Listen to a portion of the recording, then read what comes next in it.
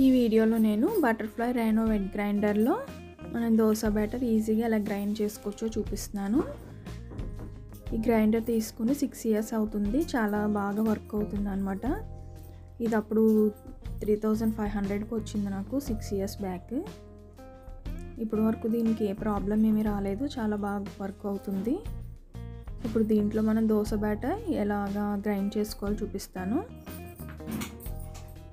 ఇప్పుడు వచ్చేసి మనం దోశ బ్యాటర్కి అయితే మనం ఒక గ్లాస్ మినపప్పు తీసుకుంటే రెండు గ్లాసులు వచ్చేసి బియ్యం తీసుకోవాలన్నమాట. అది మనం పొట్టు మినపప్పు తీసుకున్నట్లయితే గ్లాస్ మినపప్పుకి రెండు గ్లాసులు బియ్యం తీసుకుంటే దోశ పర్ఫెక్ట్గా వస్తుంది. అలాగే మనం గుళ్ళు తీసుకున్నట్టయితే కనుక ఒక ఒక గ్లాస్ మినపప్పుకి మూడు గ్లాసులు బియ్యం వేసుకుని గ్రైండ్ చేసుకోవాలి. అలాగే దీన్ని నానబెట్టుకునేటప్పుడు దీంట్లో ఒక స్పూన్ మెంతులు ఐదు స్పూన్లు పచ్చిశనగపప్పు వేసుకున్నట్టయితే కనుక మనకి దోశ అనేది చాలా క్రిస్పీగా బాగా వస్తుంది అనమాట ఇది వచ్చేసి మనం బియ్యం బియ్యంని పప్పుని కూడా ఒక ఎయిట్ అవర్స్ నానబెట్టుకోవాలి లేదా ఓవర్ నైట్ అంతా నానబెట్టుకోవాలి. మనం ఇలా వేసుకుని గ్రైండ్ చేసుకుంటే కనుక దోశ అనేది మనకి చాలా క్రిస్పీగా బాగా రెస్టారెంట్ స్టైల్లో వస్తుంది అనమాట మనకి ఎంత పలుచగా వేసినా కూడా పేపర్లా వస్తుంది చాలా బాగుంటుంది.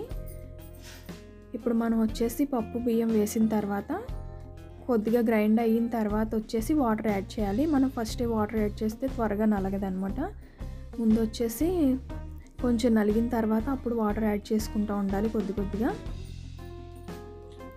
ఇలా యాడ్ చేసుకుని ఇలా మనం లిడ్ పెట్టేసుకుంటే కనుక మనకి తొందరగా గ్రైండ్ అవుతుంది చాలా మెత్తగా పేస్ట్లా అవుతుంది అనమాట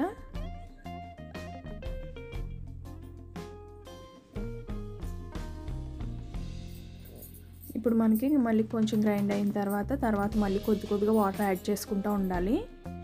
ఒకసారి అనేది వాటర్ యాడ్ చేస్తే త్వరగా బాగా గ్రైండ్ అవ్వదన్నమాట స్మూత్ పేస్ట్ లాగా రాదు మనకి.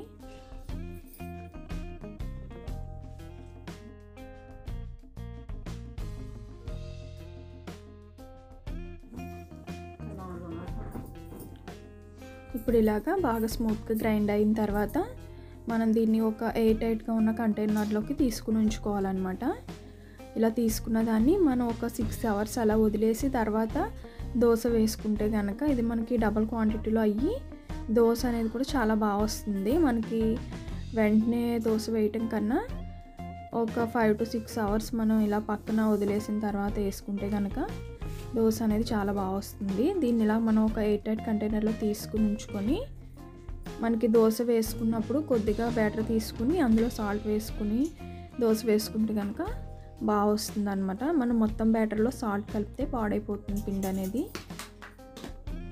కొద్ది కొద్దిగా తీసుకుని దోశ వేసుకోవాలి. ఇలా చూడండి చాలా బాగా స్మూత్గా గ్రైండ్ అయిపోయింది.